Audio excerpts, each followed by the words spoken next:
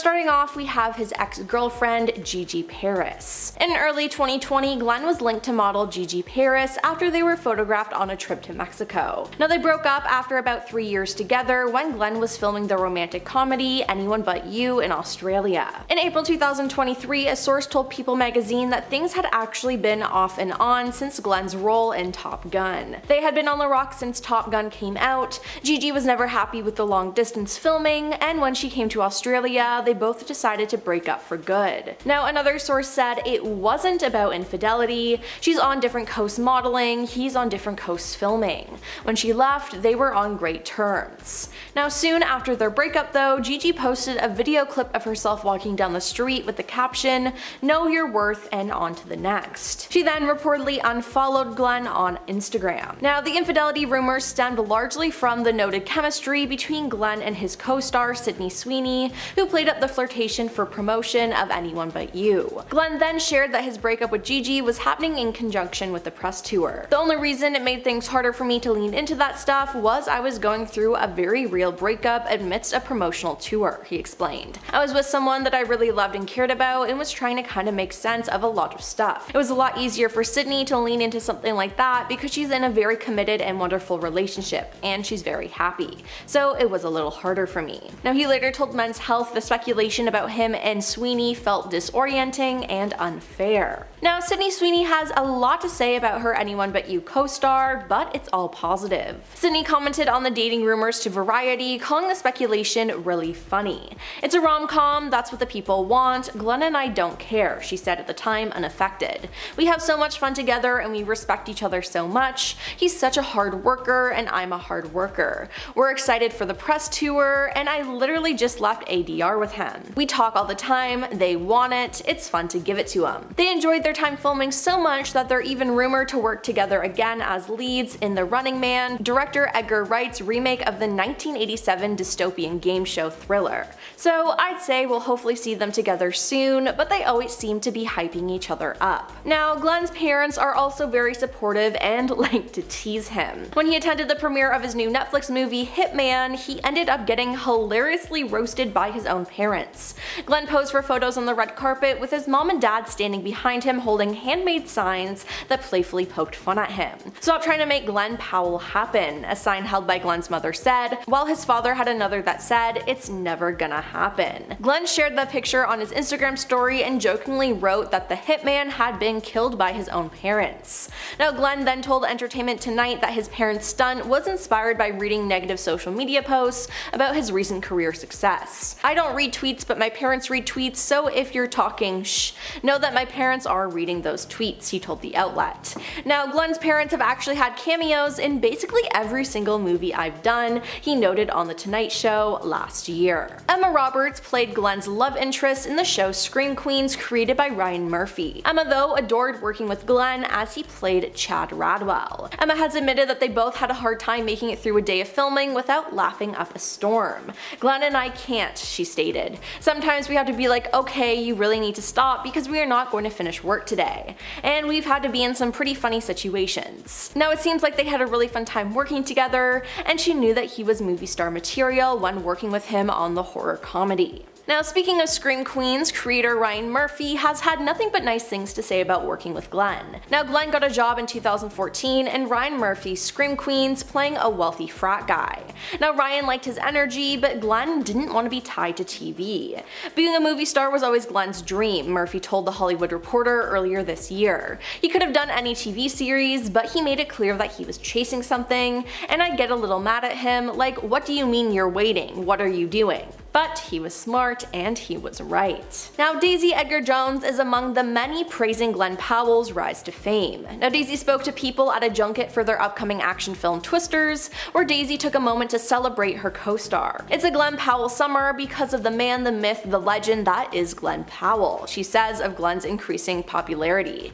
Plus, Glenn has a secret weapon, his rescue dog Brisket. Brisket has also become a household name this summer, appearing on red carpets and on Instagram with his famous dog dad. I think Brisket can't take all the credit Daisy says of Glenn's success, adding, but Brisket definitely adds to the flavor of joy and fun and fluff. Now that leads us into, yes, Brisket, the icon. Now Glenn adopted the dog, then a puppy in July 2023, and started bringing Brisket to the action movie set shortly after. Daisy really saw my life before Brisket and my life after Brisket, Glenn says, of adopting the dog during filming. Now during an appearance on Today, Glenn revealed that he adopted Brisket when he was going through a breakup. I remember sitting in a cafe in Enid, Oklahoma, he recounted, and I was like, you know what, I need to be a dog dad. He's been the greatest addition to my life ever, he added. Now Brisket easily fit in with Twister's cast and crew, who appreciated having him on set. He's such a beautiful soul, he's a storm chaser, he's been storm chasing with us, Daisy said of the pup. She adds that having comfort animal Brisket around on night shoots when the actors were sleepy and looking for snuggles was a delightful treat. He gave such a joy to the whole crew and every department hung out with him while we were shooting different things. He became a mascot for this movie, Glenn explains of Brisket's role on set. And listen, I love Brisket and I think I want to meet him more than Glenn. Now we have Zoey Deutch. Now she starred alongside Glenn in the rom-com Set It Up. Now everyone loved this film and wanted them to work together again. Now Zoe wanted to work together again too and they ended up planning another project together. Unfortunately it did end up getting scrapped but Zoe had this to say. There is another film with the writer of Set It Up, Katie Silberman, and myself and Glenn Powell. We're all doing another movie together with Netflix, so there's another rom-com coming from us. Now that film would have most likely been Most Dangerous Game per Entertainment Weekly, and the duo along with Set It Up's writer and producer Katie Silberman were set to begin production in early 2020, but it seems things sadly didn't work out on that project, as Glenn explained years later, but the duo does want to work together more. Now Glenn and Tom Cruise became close friends during the production of Top Gun Maverick. Glenn originally auditioned for the role of Rooster, but he was beat out by Miles Teller. Now Cruise liked Glenn and offered him the role of Hangman. I said my piece to Tom about what I do and what I do well, and he listened. Tom's a listener. He listens to the crew members, he listens to his collaborators, and he hears people, Glenn said. Now one of the signs that Tom really likes Glenn was when he sent him to a theater in Los Angeles to show him a film school video that Cruise had put together for his friends. Now Glenn expected to be among a crowd, but no, it was just for him alone in an empty theater. For six hours, the GQ UK reports. Watching Tom Cruise speak directly to the camera, breaking down everything he's learned about filmmaking over the years. Now, according to Glenn, Cruise has no intention of putting it into the public sphere. He said, it's just for my friends, Glenn said. Then Tom showed him his support by attending Glenn's movie premieres and praising him, and it seems like these two are a Hollywood duo we didn't expect to come together, but this is exactly what we needed. And finally we have Matthew McConaughey. Glenn went from being a fan fan of Matthew McConaughey to counting him as a trusted friend. Glenn adds that Matthew has also become a great mentor and friend to him as he adjusts to the spotlight. Now in fact Glenn recently revealed that Matthew convinced him to leave Hollywood and move back home to Texas. Career-wise things can be disorienting if you let them and Matthew's been such a great friend and source of wisdom for me, Glenn says. Once I felt like I was in Hollywood, I felt comfortable enough to go back home. You can really be an honest observer of humans in Texas, Matthew shared, and he help Glenn with that decision. He's a guy I've looked up to my whole life, so to have Matthew as a guy I can call if I'm ever feeling disoriented or confused about anything that's happening in my life, he's already been on that ride, Glenn said. Matthew then said, you're more than a nice guy, you're a good man. That means standing for things and also standing against things. I hope you just keep it up man, it's an awesome business to create and share and dispatch and put something out there that will outlive us. Naomi Campbell, the legendary supermodel, has been outspoken about how Kendall has risen to fame as a so-called model. On an episode of the Meredith Vieira show, Naomi addressed the issue by saying she wished them the best of luck. I mean, good luck to them. I just feel like my generation of women like Cindy Crawford and Linda Evangelista,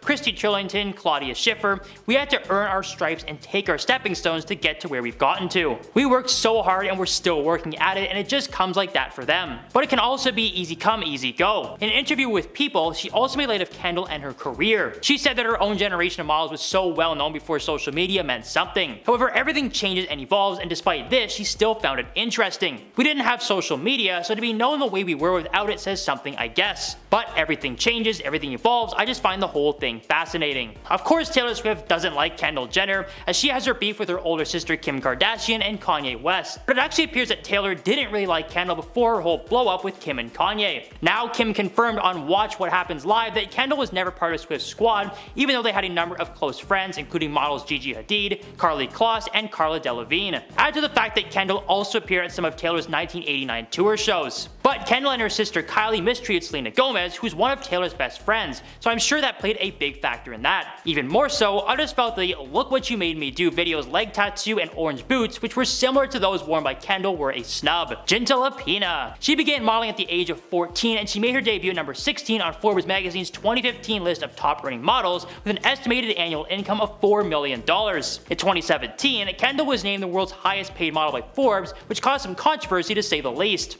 After this, in an interview she did in 2018 with Love magazine pretty much went viral due to her working comments. She said she was never one of those girls who would do like 30 shows a season or whatever those girls do. More power to them. But I had a million jobs, not only catwalks but everything else. These comments made many people angry, including fellow models. Model Jinta Lapina shared a screenshot of Jenner's quote with her take, We all are hardworking and worked hard to be where we are. Nothing was ever given to us, she wrote. Lapina also posted on an Instagram story of herself during a shoot writing, I gotta work with the hashtag I'm not Kim Kardashian. Model Peyton Knight also had her own issues with Kendall's love interview. She added her own hashtag to the post saying, end the privilege, over Jenner's image in her Instagram story. This kind of disrespect towards other models who have no name for themselves walking into the industry is disgusting, she wrote. We don't get to choose which shows to do. She then told the post that she felt triggered by Jenner's quote. She was discounting girls who aren't famous and aren't born into rich families, she says. Their work is nothing, like it's not that hard to do.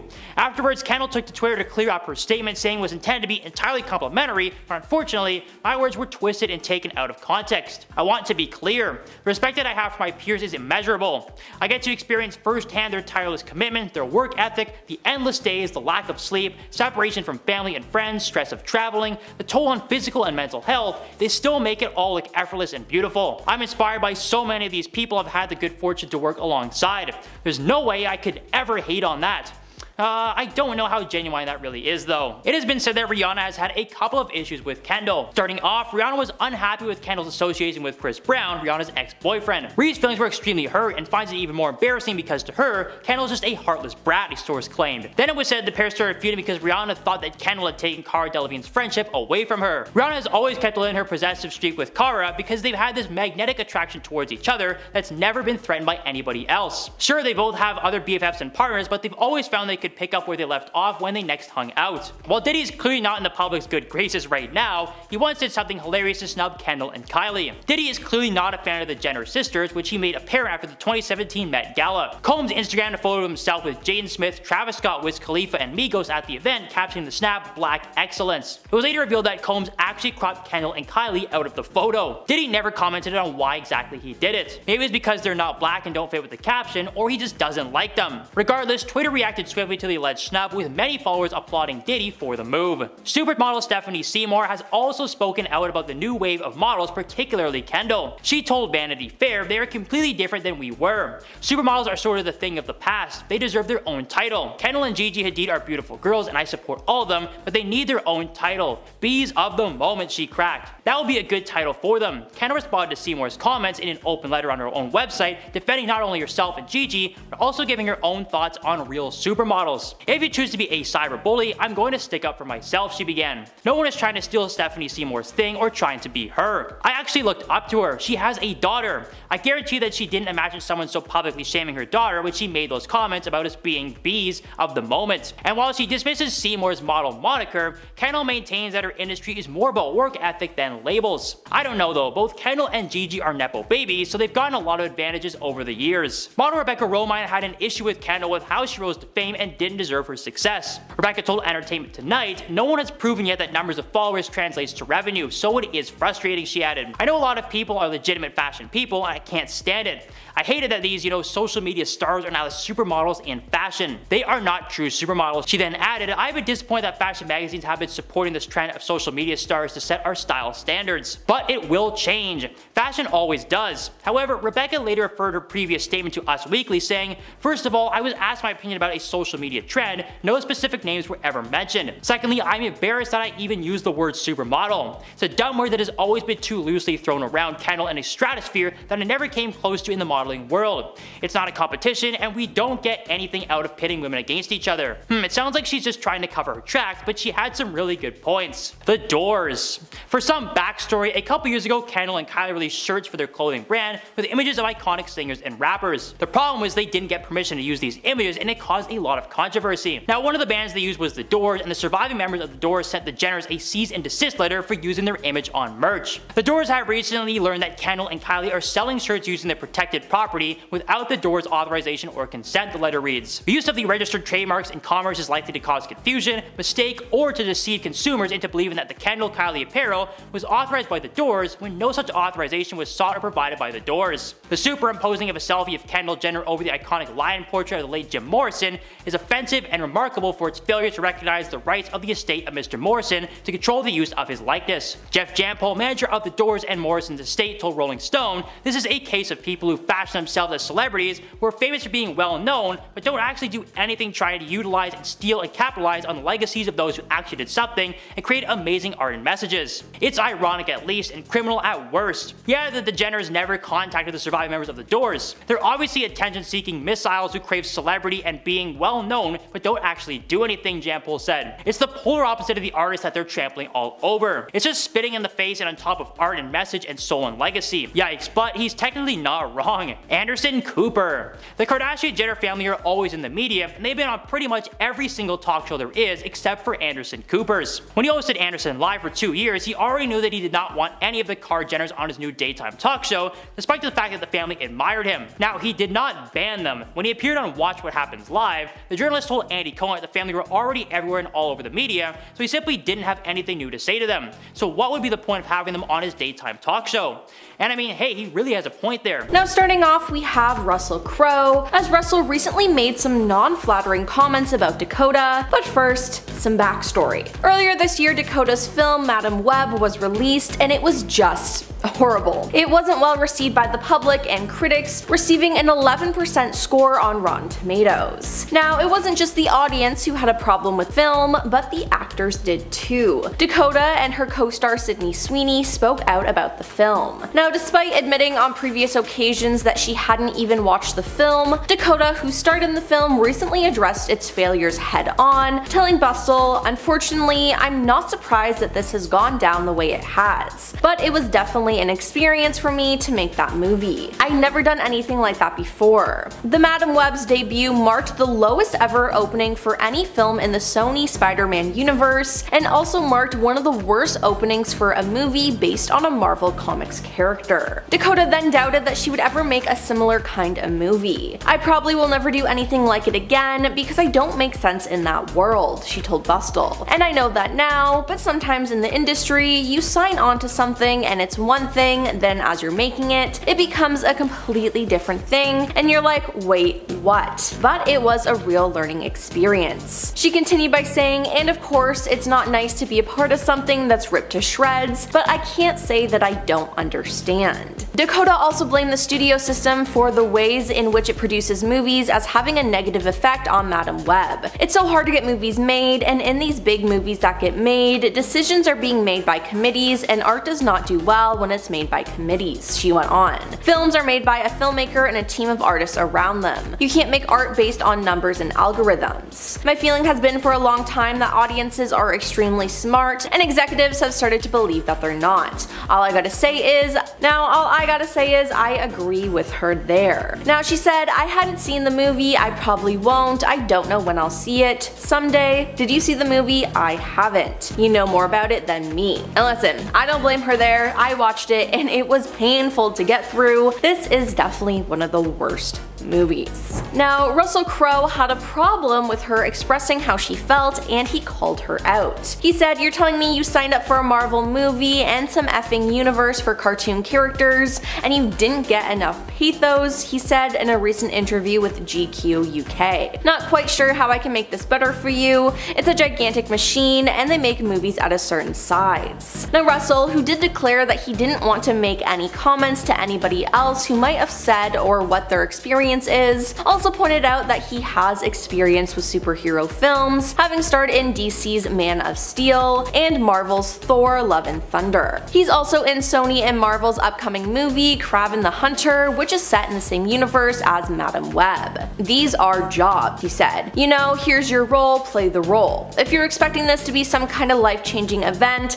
I just think you're here for the wrong reasons. However, Russell did acknowledge that doing superhero movies can be challenging at times, and that as an actor in those projects, you sometimes have to convince yourself a lot more than the internal feelings of your character. Now, I gotta say, I don't agree with him here. Dakota wants to be a storyteller and be attached to her character, but it seems like she didn't have that much to work with on Madame Web, and she was honest about that. I don't think she should be punished for that. Now, after this mess of a movie and a report from Variety about the Spider-Man spin-off franchise, it's mentioned that Dakota switched agencies, deciding to swap WME for CAA in November, just days after the first Madame Web trailer debuted. Now, it's said that this move raised industry eyebrows, but it's important to note that the trailer was widely mocked upon its release, with many movie fans clowning on its dated aesthetic and costumes, clunky dialogue, and uninteresting characters. And, as we know now, the movie was a huge flop. Now, this isn't the first time Dakota has been blunt in interviews. She had an infamous interview with Ellen on the Ellen DeGeneres show years ago, and she put Ellen in her place, so it's safe to say that Ellen doesn't like her too much. Now, during one episode on the show, Ellen insisted that Dakota didn't invite her to her birthday and threw some shade. Now, without hesitating, Dakota shut down this false claim and said that the last time that she was on Ellen's show, Ellen gave her a hard time about not inviting her, so she did this year. Dakota then advised Ellen to ask her producer about her lost invitation, stating, I did invite you and you didn't come.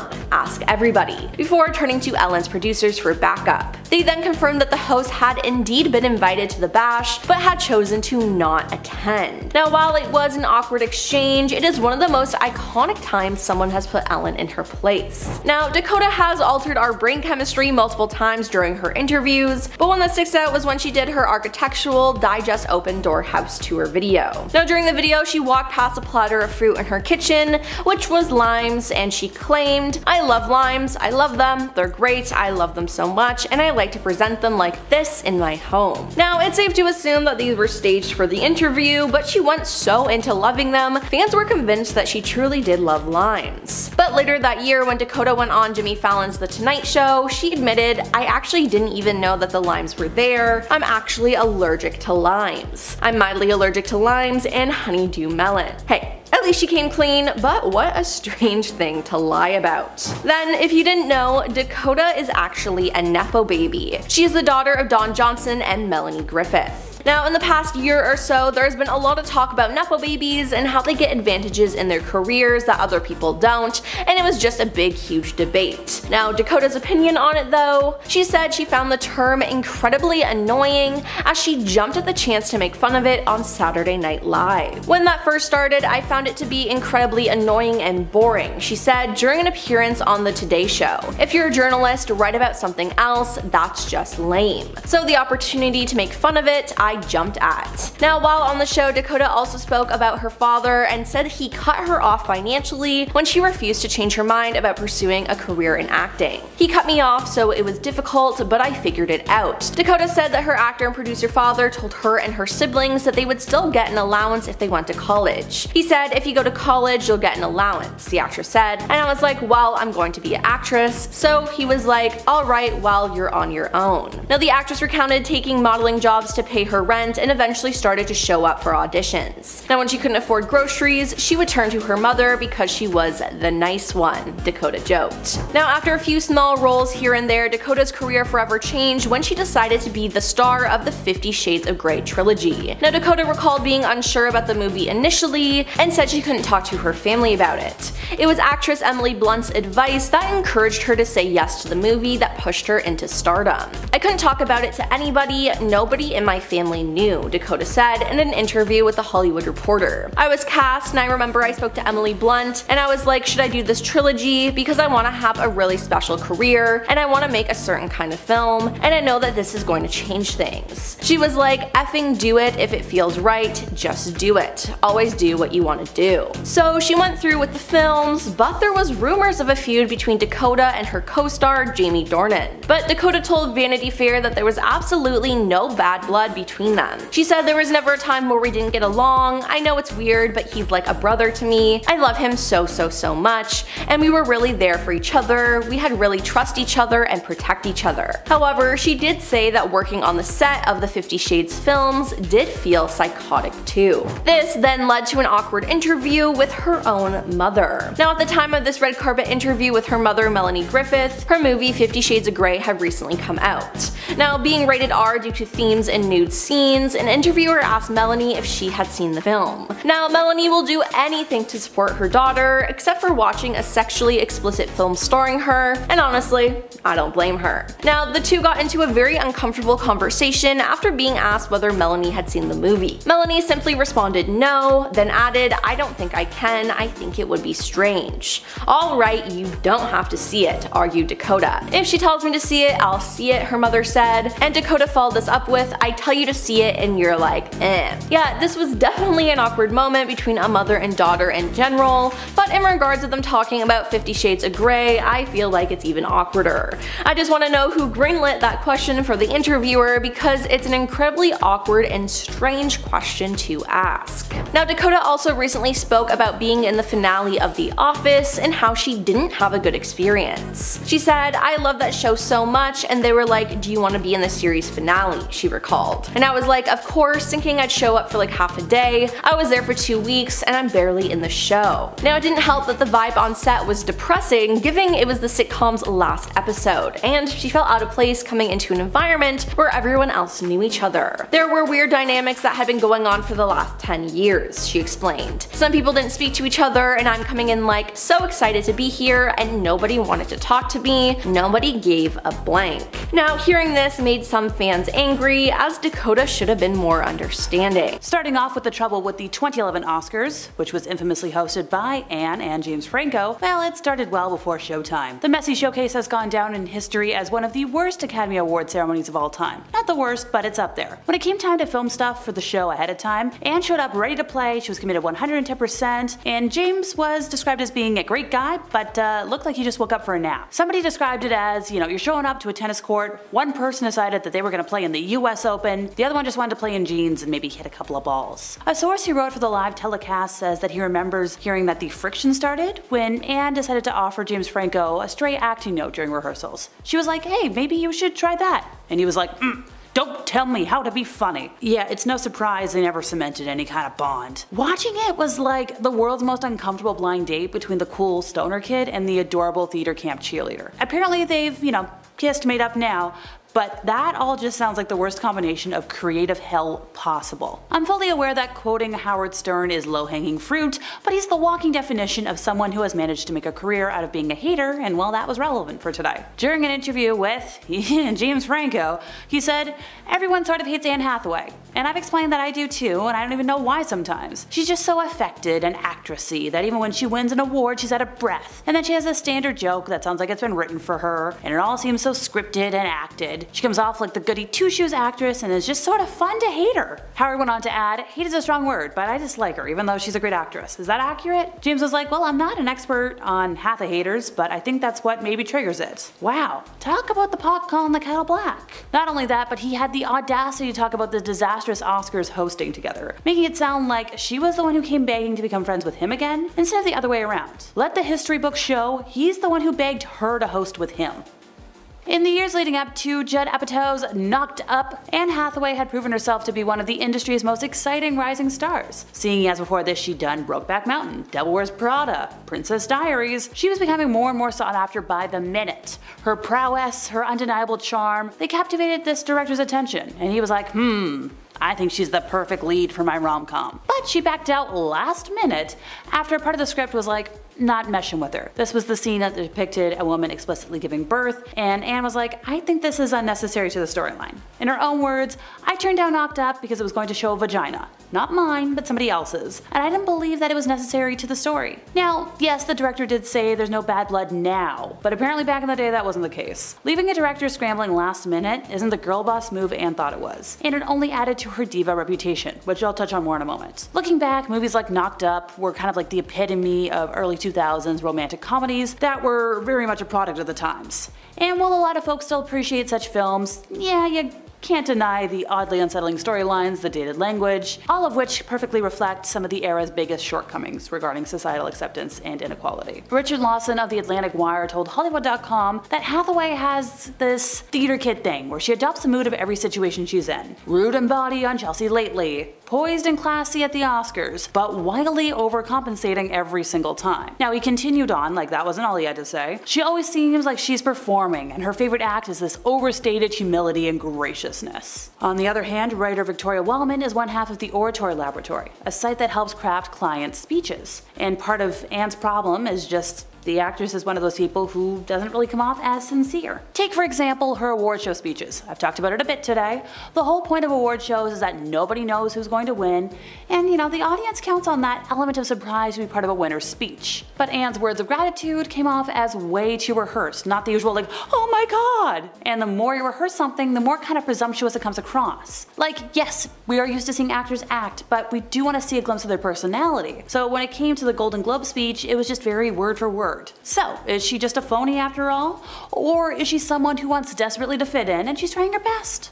I'll let you decide in the comments. I don't think Matt Lauer is on the top of anybody's most liked list these days, and it's pretty obvious why. But hey, back in the day when this man was still employed on the Today Show, he had a pretty icky interaction with Annie that needs to be noted. So, 2012, Anne's on a press tour for Les Mis, and uh, a photographer crouched down as she got out of a car and he got an upskirt photo, which was a horrifically sleazy thing for this pap to do. But then Anne was a guest on Today, and Matt was like, hmm, that's a you problem. Specifically, he opened it with like, nice to see you. And then, seen a lot of you lately. Now, Anne did her best. She tried to play it off as though he's talking about the oversaturated press cycle. She's just like, yeah, you know, I'd be happy to stay home, but the film, like, she's doing her best. And uh, Buddy's like, mm-mm-mm, let's just get it out of the way. You had a little wardrobe malfunction the other night. And like, he raised his eyebrows, like, she's right there. And guy's just like, mm-hmm, what's the lesson learned from something like that? Other than you keep smiling, which you always do. It was just so icky and gross. Ugh, men. Now, Anne's response was very, very graceful. She was like, it was obviously an unfortunate incident, and it kind of made me sad on two accounts. One was that I was very sad where we live in an age where somebody takes a picture of another person in a vulnerable moment, and rather than delete it and do the decent thing, they sell it. And she's like, I'm sorry that we live in a culture that commodifies the sexuality of unwilling participants. And she's like, that brings us back to Les Mis. Like, very good. The fact that the conversation even acknowledges the fact that what happened to her was a violation of privacy, but an attempt to humiliate her for the fact of possessing a female body? Ugh,